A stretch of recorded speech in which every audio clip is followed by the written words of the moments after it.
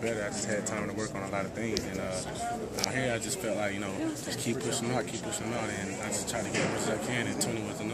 Did you hear any good feedback so far? I know that you know had probably not much in terms of you know, exactly where you might fall, but a lot of scouts were here today to see you guys work out. Do you hear anything positive? Oh yeah, I talked to a couple teams today. They said that um, they're gonna be in touch with me, you know, after the day and uh, a couple workouts and everything like that. So yeah, I heard from a lot of teams. I mean, not a lot, but you know, a couple teams, like three or four teams. Do you think you might have any private workouts from, from this to see if uh, take that next step further? And, Yes, sir. Well, a lot of teams told me to look out, you know, look out for my phone because they were going to get in touch with me a couple days from now.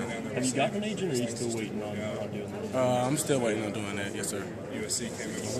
Congrats. Thank you. What's been the most difficult part about the whole NFL draft process?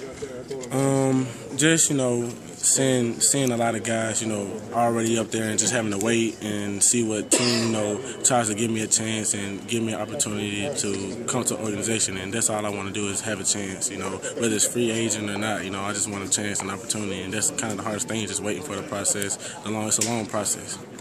Who are some of the UK players that maybe fans didn't get to see a lot of that they need to be watching out for this coming year? Um, I'm always gonna say the running backs. You know, my fellow running backs, uh, Raymond Sanders, Johnny George. Those are my guys, so I always say them. Thanks, man. Anybody else? Octavius? Anybody else?